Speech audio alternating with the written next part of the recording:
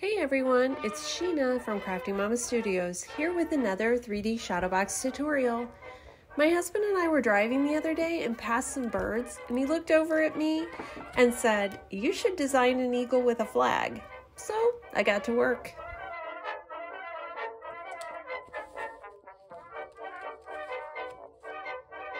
On all my Shadowbox files, I number the layers at the bottom right hand corner so you'll know which layer should go next.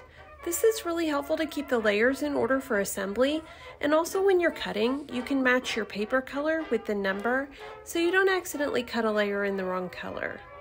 Before I start cutting, I get all my paper out and number it in a corner so I can match my paper number with the number that shows up in the design to keep everything correct.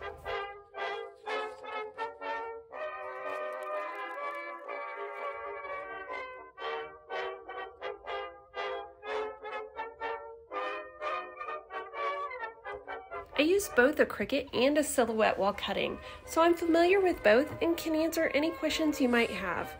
For the Silhouette, I use a custom setting of blade depth 5, force 20, passes 2, and speed 2, and that seems to work for most papers. For the Cricut, I use the intricate cardstock setting and it works great.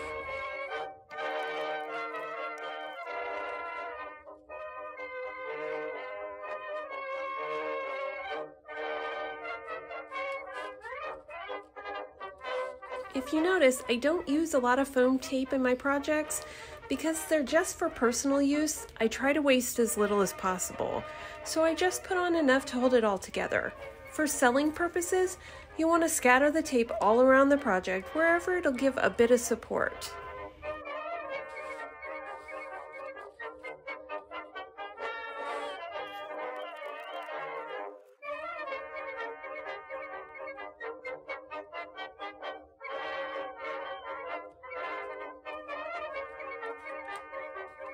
I don't pull the backing off the foam tape that's going in the middle until I have that layer laid down.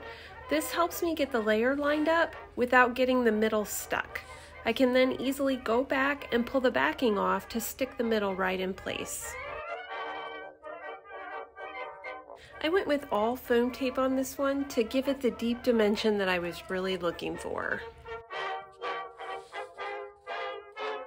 Because we start with the back layer when assembling, my Shadowbox files are all numbered with the number one at the bottom and going up from there. The two layers I don't number are the full square at the back and the top border piece.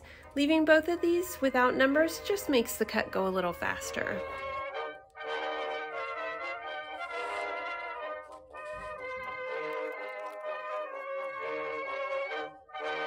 And there you have it, an all-American Shadowbox perfect for you to keep, sell the finished project, or give away as a gift. Do you have an idea for a shadow box you'd like created? Leave me a comment and I'll see about adding it to my growing collection. Thanks for watching, like and subscribe, and make sure to click the bell to be notified when I create new projects.